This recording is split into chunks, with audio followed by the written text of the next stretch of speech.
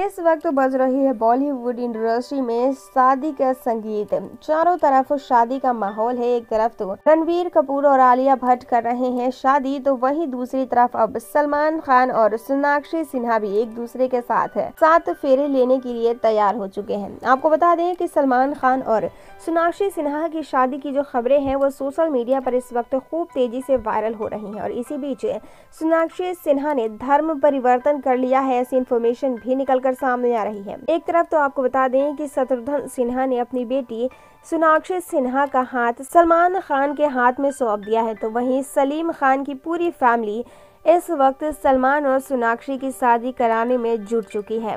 कई बार सलमान खान की माँ हेलेन को सोनाक्षी सिन्हा के घर के बाहर भी स्पॉट किया गया है। जब से सोनाक्षी सिन्हा के धर्म परिवर्तन की खबर निकलकर सामने आई है, कई सारे हिंदू धर्म के गुरुओं ने सोनाक्षी सिन्हा के खिलाफ बयानबाजी भी की है। दोस्तों, क्या आपको लगता है कि सलमान खान के साथ शादी करने के लिए सोनाक्षी सिन्हा को अपना धर्म परिवर्तन करना चाहिए था।